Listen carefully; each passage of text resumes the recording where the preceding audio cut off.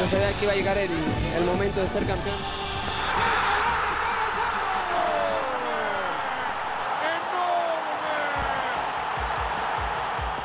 Su cuna humilde le dotó de una estirpe que el hambre de triunfo y anhelos de trascendencia explotaron las habilidades que le fueron conferidas. Platilco fue su cuna, y aunque forjó el carácter en el barrio de Tepito, su esencia venía de casta, concibiendo lo irrepetible. Yo cuando mi niño estaba bien chiquito, yo le vi muchas cualidades. Y dije, mi hijo va a triunfar, va a ser un gran, un gran, desde los seis años que él tenía, va a ser un gran jugador. Ave de tempestades, víctima de mofas por apariencia y carácter arrebatado o venerado superlativamente por su talento y bonomía tan suyas. Nosotros le decíamos que, que estaba jorobado porque el corazón de tan grande que lo tiene se le sale por la espalda.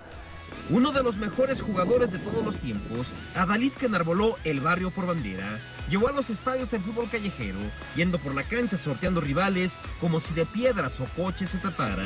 ¿Este quinto venías? Aquí va. ¿Jardín de niños qué?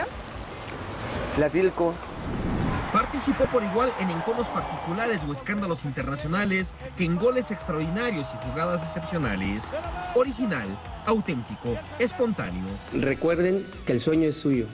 Coman frutas y verduras. Su sentido común era el menos común de sus sentidos. Mantuvo y honró su popular naturaleza. Siempre fue el niño que para jugar salía a divertirse. ¡Golazo de Cuauhtémoc Blanco! Mucho, muy latoso. En la escuela les escondía las, las mochilas a sus compañeras, me llamaban a- de la dirección.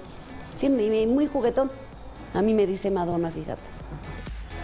Víctima de injusticias por facturas del pasado y blanco de arteras patadas.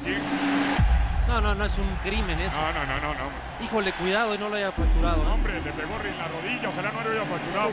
Cayó y se levantó más fuerte. Su corazón ardiente derritió el merengue en España. ¡Ah, gol! ¡Qué golazo acaba de marcar Cuauhtémoc Blanco! Fue el fuego en Chicago y sobre todo un águila real con alas desplegadas. Relumbró vestido de verde y hasta volvió del retiro, mostrando que el Azteca siempre ha sido su casa.